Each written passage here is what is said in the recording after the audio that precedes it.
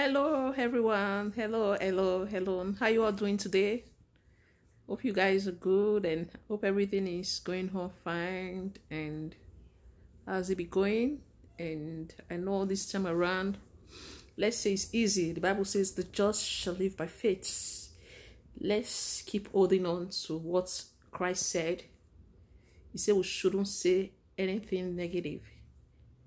Meaning what? Meaning we always have to profess positive, right? So even though it's hard, we always have to say, we always have to say it's okay, it's easy, you know? Because it's what you say is what you get, right? So keep saying it. And when you keep saying it, you keep getting what you're saying. But when you when you keep saying negative, you keep keep getting negative. So that is why your words are very important. So keep saying something good.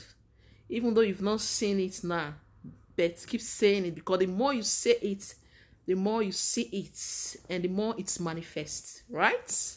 So that's what faith does.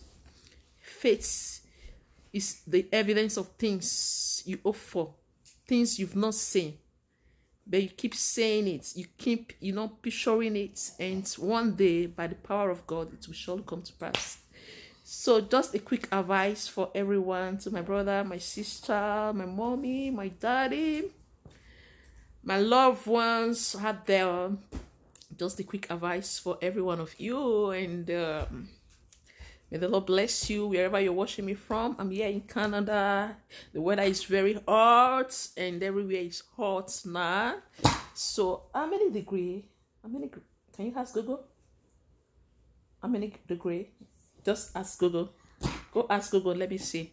So it's hot here in Canada. I don't know where you are right now. I don't know if it's hot there.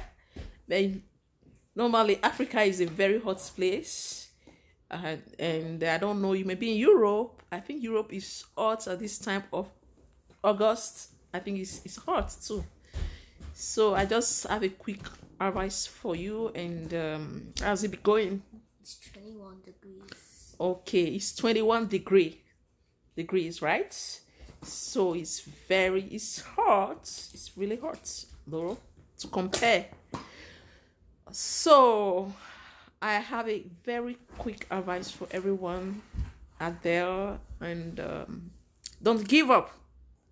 Keep pushing, keep pushing, keep pushing. You see, there was a time, uh, I remember then when I was in Africa, um, there's a novel we read at, in school, at school then. It's called My Father's Car, right? So, you know, sometimes the according to the um the guy and um sometimes when his daddy got a car and it came to a, uh, a time when they they woke up and when the, the daddy want to start the car it wouldn't start you know? So all they will do is that they will keep pushing they just keep pushing the car all of them will start pushing the car then the car gets started right? So when the car starts it will take them to their destination before their daddy will go drop them at school and go to work. So that's that's how that novel goes. That's that's the only thing, the only point I picked out from that novel, my dad, my father's car, right? So so when you compare that novel, what happened, the character, what happened in that novel, when you compare it to real life, is the point is that in every situation, in whatever situation, whatever thing you may be passing through, it's not the end of your life. You understand? I know many out there passing through a lot of things, but I just want to tell you this afternoon that it's not the end of your life. That God is on your side. Don't give up. Don't be don't let that thing distract you from going to where you're going and don't let that thing you're passing through distract you from achieving what you're supposed to achieve and don't let that thing you were passing through distract you from from pushing on you know so that's why i said earlier on that it is easy Because, because when you keep saying it is easy, things is going to be easy for you. But when you keep saying it's not easy, it's not going to be easy. That's the reality of life. You understand? So whatever the God has said will not fail. It's always comes to pass because there's a reason God says we should have faith. There's a reason why he said so. So everything God says is is meaningful and is is not meaningless. It's meaningful. So that's why we we have to we have to hold on to what he said in his word. You know, keep pushing. Keep keep keep just keep pushing. You're going to get there one day. You see, just you know that car it's not working and you have nothing to do anymore and you just feel like oh it's the end of the world no because if you abandon the car there let's assume you're a car if you abandon the car you say oh i'm not going to take care of that car i'm not going to i can't even push it i'm just going to leave it there the way it is it's going to get rust at the end it's just going to be there idle nothing but at the moment you begin to think oh what am i going to do with this car do i repair it okay let me copy people to come and help me you know, push the car.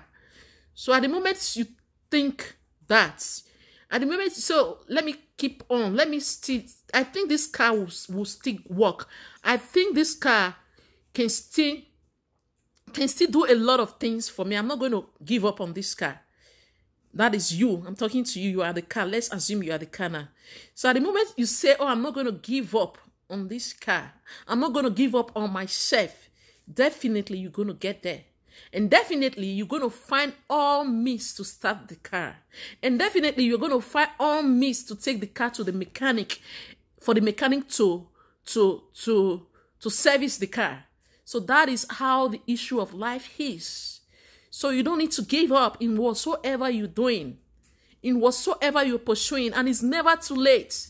Don't let, regardless of what you are saying, because the things you say, they are just there. They are temporary. They are they are limited. But the one you cannot see is unlimited. Just keep having that vision that I can do it. In whatsoever I can do it. Don't let the circumstances of life weigh you down. Don't let age weigh you down.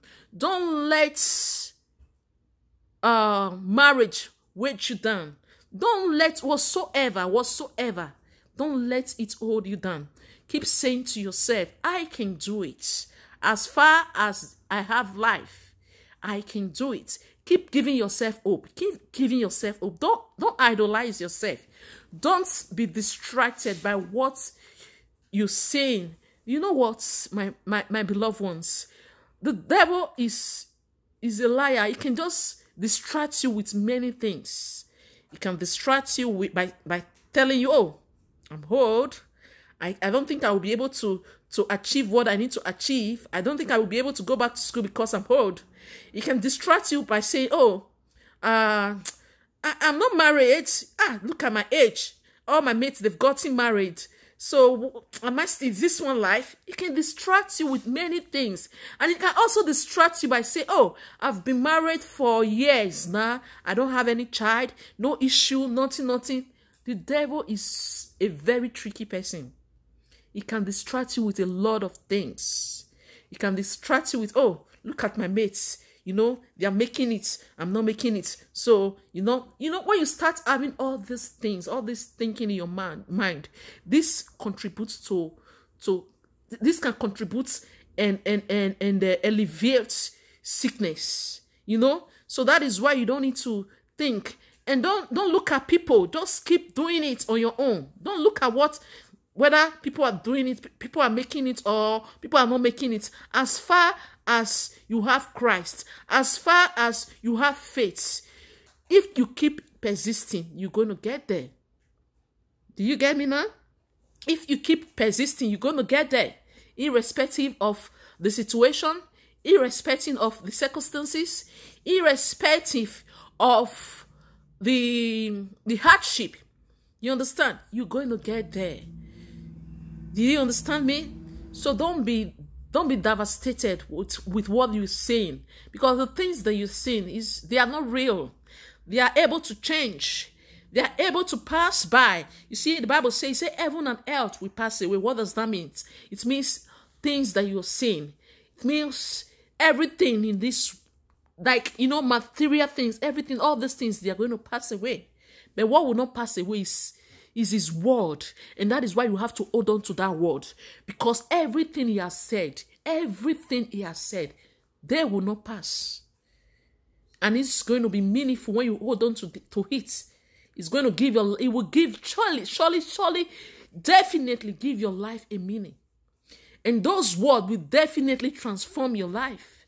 And those words will definitely elevate your life. Praise the Lord. So I'm just out there to to to encourage somebody. You that is giving up. You that is saying it is finished. It has not finished. Jesus Christ has said that for you on the cross. He said it is finished. So he has said that, and you don't have to say it. You don't have to give up because it's already giving it up on the cross for you. So you don't have to, to give it up. So don't let the devil rejoice over you. Just keep the moment, the more you keep like waking up, the more you keep persisting, the more you keep holding up to faith, you keep having faith, the more you putting him to shame. I'm assuring you this, it's real. The more you keep doing it, the more, you know, at the moment you start saying, oh, I, am you start like feeling reluctantly from doing what you're going to, you're supposed to do. That moment, at that moment, the devil will begin to rejoice. The moment you start crying, oh, all my mates are having children. Oh, look at me. Ah, all my mates are getting married. Oh, look at me. All my mates are buying cars. Oh, look at me. All my mates are getting their, their certificates, their diploma. Oh, look at me. The moment you start doing that, you are wasting your time. And the devil is happy with that thing you were doing. But the moment you said, no, I'm going to rise up. I'm going to do it. Even though I fall. You know what the Bible says? Even though you fall seven times, you will rise again. Praise the Lord. So even though you fail, you're going to rise again even though you couldn't get it now i am assuring you that when you do it again you are going to get it don't give up don't give up is the things that you are seeing is too small for you to give up the things that you are seeing is too small for you to give up. Okay? Those challenges those things that is making you to go depressed those things they are too small for you to give up. And when you do that god is going to hold you responsible for that. So that is why you don't have to do that. You just keep you know i'm going to give you a secret. Anytime you wake up in the morning you just keep prophesying good things to yourself keep saying the good things because whatever you say is what you will get that is why when you wake up in the morning, you keep prophesying goods. Today is going to be a good day for me. Today I'm walking in victory. I'm vigorous. I'm healthy. I'm strong. There is no sickness in my parts. I'm walking in the righteousness of God. I'm what God says I am. Christ in me is the hope of glory. I've overcome the world. What does this mean? You have overcome challenge. You've overcome sickness. You've overcome disease. You've overcome depression. You've, over, you've overcome everything that you need to overcome in life. Don't give up. Don't give up. Those things are too small for you to give up. And don't let the devil rejoice over you. Just keep rejoicing so that he will be ashamed. Yes, that is what I mean. Keep rejoicing so that, so that he will be ashamed.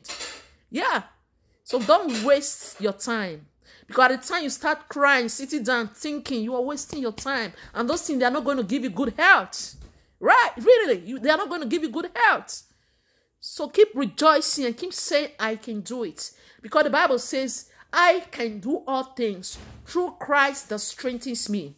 And I'm assuring you today that you also, you can do all things through Christ that strengthens you. Yes, when you keep saying it and you keep getting what you're saying, I'm assuring you, I'm a victim. I'm a, I'm a, I'm a, I'm a, I am a victim of this. There was a time ago I had, I had a pain on my breast. You know, I just keep going, uh, every time when I woke up in the morning because that is what I was taught to do. In my church, my church where I go to before, I was taught to do that. Even when I went for healing center, I was taught to do that. You know, it's what you say that will that will that will, that will occur in your life. It's what you say that will happen in your life. So every time I woke up in the morning, I just keep I go to the mirror, I go to the washroom, then I will face the mirror. I will start, you know what I do? I'll start professing good. I'll say I'm vigorous, even though, even though at that time I was very sick. But what I say, I just keep looking at the mirror because Bible says, you say when you behold in your mirror, you, yourself in the mirror, you say you see your image be transformed from glory to glory. What do you mean? You picture yourself, you program yourself, and you see yourself. You you, you, you, the way you, you picture yourself, you keep saying things. And when you keep saying that thing, it begins, it will, it will start occurring. It will start happening in your life. You know, these words that we say, they have meaning. It doesn't go waste. It doesn't just go like that. Everything you say with your mouths, they are meaningful. Praise the Lord. So I just keep looking at the mirror every morning I woke up. I keep saying, I'm vigorous. I keep saying I'm strong. I keep saying I'm healthy. I keep saying, oh, I'm not depressed. Even though as then, because you see, even though I was seeing myself as then that I was sick, but I didn't agree. I didn't stand to that. I just keep prophesying to myself. You say, I'm healed, I'm strong, I'm vigorous, I'm healed, I am the healed of God. I'm what God says I am. I'm joint here with Christ. Christ in me is the hope of glory. I've overcome the world. Greater is he that is in me than he that is in the world. The greater one lives in me. I am more than a conqueror. With Christ, I can do all things. Oh, I keep, I just keep saying that. I just keep professing that to my life. I just keep pro professing that. The more I do that, I begin to realize that the more I do that, the more I was doing that, the more I was getting healed. I keep saying it every day. I keep proclaiming it every day. And then when everything vanished, then when everything vanished, I if I'm lying, I'm if what I'm saying right now, my son can be my weakness, my mother can be my weakness, then my husband was not here with me. You know, I keep saying it. You know, after all this, you know what? At the end, I got what I said. So that is why you don't have to say things negative. Because anything you said with your mouth is what you're going to get. And those parents, quick advice to parents who are insulting their children. You see, it's not the day you said it, you will get the, the feedback. It's not the day you said it, you will get the the the payback. You might have said it for a long time. It might take two years to to to to occur, to manifest. It might take one year, it might take three years. So that is, it might take two months, one month to manifest. So I'm just quickly advising you, especially people who insult their children, who insult their children, who say all sort of things to their children. Please, my dears, please don't say negative things to your child. Even though people are saying it, tell them, rebuke them from saying it. And tell them, even though the school teacher, they are saying things about your child. Whenever you get there, tell them my child is not like that. Because it's what you agree that will happen. It's what you agree. If they say your son is doing this, say no, I don't agree with you. My child is not like that. It might be, it might be, it might be what they are saying, but don't don't agree with what they are saying. Don't agree with what they are saying. So you just have to to be positive. You just have to if you know you've been insulting your child, if you know you've been saying negative things or insulting your child with uh with uh with calls or whatever because I know where I came from. Oh my God, Nigeria. Most parents there, they just like insulting, use all insultive language for their children. But today, I have come to tell you, my viewer, I've come to tell you, don't say things negative to your child. As I've said before, don't say negative things with your mouth. Because what you said, that is what you get. Don't, please. Don't. If you've been doing that, today you've helped me. Stop doing that. Stop doing that. It's not going to, to help you in any ways. It's not going to help you. You just, the moment you start saying those things, you are inviting demons. And there are demons around. Though you don't meet them, but there are demons around, invisible people around that will take your word and manifest your word for you. Okay? So this is just a quick advice to parents out there. May the Lord God bless you and may the Lord God promote you. May you reap what you sow in the name of Jesus. And also, the moment you start saying positive things to your child or to yourself, you are sowing. And you are sowing. And you're going to reap. You're going to reap when it's time of harvest. You're going to reap healthy. You're going to, you're going to reap good things at the end, positive things at the end. Remember, your word is powerful and your word is meaningful. You know? You know, the Bible says,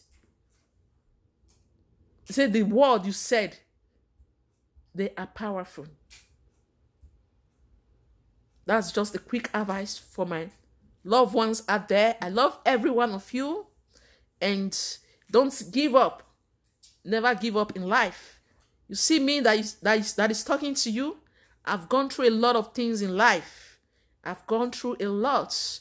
So I've gone through, and it's my responsibility to advise people, to encourage people, to console people, to counsel people. You understand? So life doesn't worth giving up. You get my point? It doesn't worth giving up. And God doesn't want you to give up. Because at the moment you give up, the devil will be rejoicing. So don't let the, the devil rejoice over you. Don't let it rejoice over you. No matter what, irrespective of what you've gone through, irrespective of what I've gone through, I never give up. And I never let anything puts me down. Though it's tough, but the Lord has always been my strength. Praise the Lord. So this is a quick advice for everyone out there. Those who are sick, I pray the Lord healing upon your life. The Bible says, by stripe that we are healed. I proclaim healing upon your life and your family. Those who are in need, I proclaim, I pray that the Lord should send you a helper wherever you are. And uh, the Lord will meet to all your needs. And he will supply all your riches according to his glory in the name of Jesus. And those who have been married for years and nothing happened, I just want to tell you that you shouldn't give up. Don't give up. As far as Christ lives, don't give up. He's there for you. Just look unto him. Because when you look unto him, he's going to look after you. But at the moment you start looking unto men, he's going to like, oh, this one has not yet, you know, no, is has not yet really understand me. So that is why he said, said, look unto me, for I am the author and I am the finisher of the faith. Praise the Lord. Thank you for listening to me. May the Lord God bless you. May the Lord God promote you in all you're doing, all your endeavors. May the Lord God transform your life in the mighty name of Jesus. May the Lord God meet to all your needs and all your desire in life in the mighty name of Jesus. May the Lord God strengthen you in every area. May He strengthen you physically. May He strengthen you spiritually in every area of life. May the Lord God bless you and your family. I love you all with the love of Christ. Shalom. Bye, everyone. See you next time. Bye. Bye.